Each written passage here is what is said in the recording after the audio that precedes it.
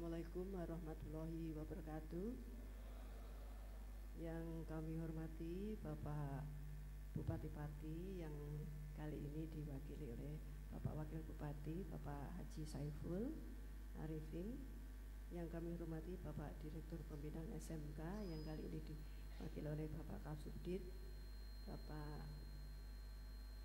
yang kami hormati Bapak Presiden Direktur PT Temin yang terhormat Bapak Warih Andang Cahyono yang kami hormati Bapak Direktur Eksekutif Kadin Indonesia Bapak Raharjo Jamtono yang kami hormati Bapak Kepala Dinas Pendidikan dan Kebudayaan Provinsi Jawa Tengah yang kali ini masih dalam perjalanan.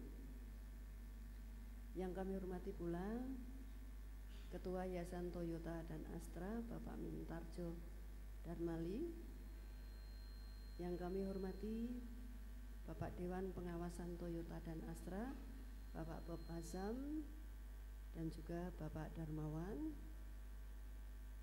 Bapak Ibu pimpinan industri juga Bapak Ibu kepala sekolah yang senasib dan seperjuangan dan juga Bapak Ibu guru yang kami hormati pula. Puji dan syukur kita panjatkan kehadiran Allah Subhanahu wa taala yang selalu memberikan curahan rahmat dan karunia sehingga kita dapat berkumpul di tempat ini dalam rangka penyelenggaraan kegiatan peresmian kelas budaya industri bersama Toyota Indonesia dan juga bersama 15 sekolah sebagai pilot project. Bapak Ibu yang kami hormati, terima kasih kepada Bapak Wakil Bupati, Bapak Direktur, dan Bapak Presiden PT Temin, Bapak Kadin, Bapak Direktur Eksekutif Kadin, Bapak Kepala Dinas, dan para tamu undangan yang hadir di uh, aula dalam rangka peresmian kelas budaya industri bersama ya, Toyota Indonesia. Selanjutnya kami mewakili 15 sekolah pilot project mengaturkan terima kasih kepada Toyota Indonesia yang sudah memberikan kesempatan pada kami untuk menjalin kerjasama sebagai implementasi link admet antara SMK dan industri. Sesuai dengan keputusan Menteri Pendidikan dan Kebudayaan melalui Departemen Pendidikan Nasional, terus diupayakan kerjasama yang sinergis antara sekolah dan dunia industri. Perlu perlu adanya sekepadanan antara kurikulum sekolah dengan dunia industri melalui pembentukan kelas budaya industri. Sekolah menengah kejuruan dan dunia industri saling mengisi, mendorong secara integratif untuk menyamakan persepsi.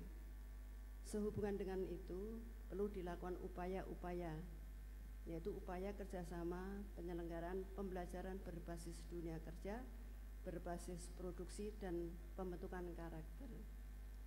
Bapak Ibu yang kami hormati, peresmian pembentukan kelas budaya industri merupakan langkah tindak lanjut setelah terjadinya komunikasi secara intensif antara SMK dengan Toyota Indonesia melalui Yayasan Toyota dan Astra, kesepahaman dan penyaman persepsi melalui peningkatan sumber daya manusia merupakan upaya peningkatan kualitas pendidikan sesuai dengan standar industri.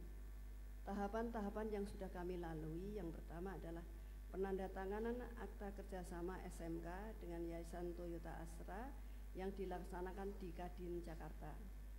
Kedua, peningkatan kompetensi, kompetensi sumber daya manusia guru melalui pendidikan dan pelatihan dengan infrastruktur dari Toyota Indonesia. Ketiga, sinkronisasi kurikulum menyesuaikan, menambah, dan membantu penyusunan yang selaras dengan kompetensi yang dibutuhkan industri pada saat ini dan tentunya tidak mengurangi kurikulum dari Dinas Pendidikan. Keempat, kunjungan industri pada PT Temin. Yang kelima adalah pembentukan budaya industri. Kami berharap kerjasama ini dapat diimplementasikan secara terus-menerus dalam mensinergikan kebutuhan antara dunia pendidikan dan industri. Bapak Ibu yang kami hormati, Hasil outcome SMK dapat kita kategorikan dalam tiga kelompok. Yang pertama adalah bekerja di industri, yang kedua melanjutkan sekolah, yang ketiga adalah berwirausaha. Siswa yang tidak bisa melanjutkan sekolah dan tidak bisa bekerja di industri dapat belajar kewirausahaan dan disiapkan menjadi wirausaha. Diharapkan nanti akan muncul startup-startup baru yang akan menjadi wirausaha untuk mendukung program tersebut, kita disiapkan gedung Teknopark sebagai tempat belajar berwirausaha. Gedung Teknopark merupakan tempat untuk memberikan ruang bagi siswa untuk mengembangkan diri dalam kewirausahaan. Hadirin kami hormati, kami memohon pada Bapak Bupati atau Bapak Wakil Bupati, Bapak Direktur Pemilihan SMK, atau yang mewakili Bapak Direktur Presiden Temin, Bapak Direktur Kadin Eksekutif, Bapak Kepala Dinas Pendidikan Provinsi Jawa Tengah berkenan memberikan meresmikan program pembentukan kelas budaya industri dan THPT Teknopark.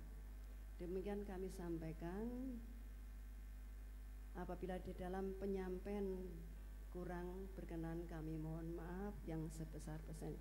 Terima kasih sekali lagi kami haturkan kepada Toyota Toyota Indonesia atas wujud link and med yang bersama-sama meningkatkan kualitas pendidikan dalam menyiapkan generasi muda sebagai generasi yang terampil di Indonesia. Demikian terima kasih. Akhir kata wassalamualaikum warahmatullahi wabarakatuh. うん。